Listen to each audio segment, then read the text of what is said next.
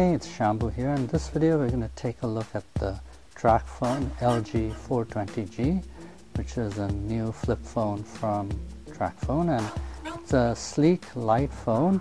The flip part goes all the way to the end, which does make it, I feel, a little bit easier to open. The keyboard is nicely laid out with separate buttons. The, the rows are one piece of plastic, but because of the prominent ridges, it's still easy to use.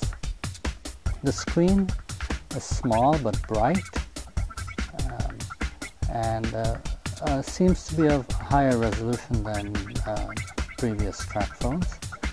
Uh, the, uh, there's a VGA camera and Bluetooth capability and in this case you can use the Bluetooth to both pair up the headset as well as transfer photos from your phone. Uh, you can also, if you have another phone that you're switching from which has Bluetooth, you can transfer your contacts via Bluetooth to this phone.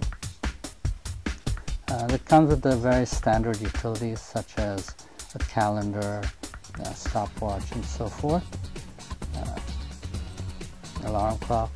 And there's also a voice recorder in the media section as along with the camera and it's basically a, a, a simple light flip phone that's uh, compatible with TracFone's prepaid plan.